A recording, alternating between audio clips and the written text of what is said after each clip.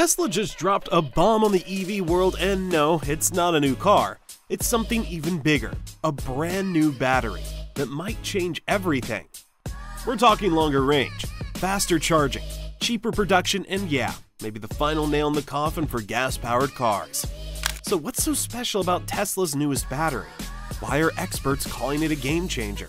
And is this the breakthrough that finally makes EVs the obvious choice for everyone? Let's get straight into it.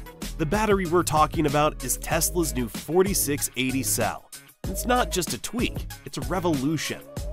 Tesla initially unveiled the 4680 battery cell during the 2020 Battery Day event, during which it explained the cost and efficiency benefits of the battery size in comparison with the 2170 form factor. Named for its dimensions, 46mm wide, 80mm tall, this battery is 5 times more energy dense than the current 2170 cells used in today's Teslas. More power, less weight, and cheaper to make. The 4680 cell sounds amazing on paper. 5 times the energy, 6 times the power, 16% more range. Tabless design, dry coating tech, and structural integration into the car's frame. But here's the thing Tesla's been saying this since 2020, and yet over four years later, production is still not scaled, and real world performance remains a mystery. A lot of uncomfortable questions have been flying around regarding this battery. One engineer anonymously told Business Insider the dry coating tech just doesn't scale yet. Elon's pushing it anyway. Now, here's where it gets really interesting. These new batteries are being rolled out in Tesla's Giga Texas and Giga Berlin factories. And guess what? They're not just for the high end cars. Although Tesla also sources its 4680 batteries from multiple other suppliers, including Panasonic and LG Energy Solution, the company has also been working to scale up in house production of the cells over the past few years.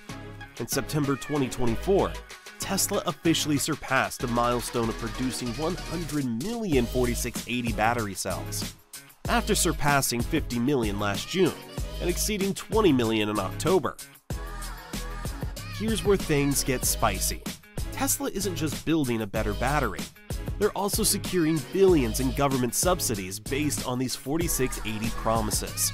The 4680 cell is the heart of the upcoming Cybertruck and a rumored $25,000 Tesla, the one that could make EVs mainstream for everyone.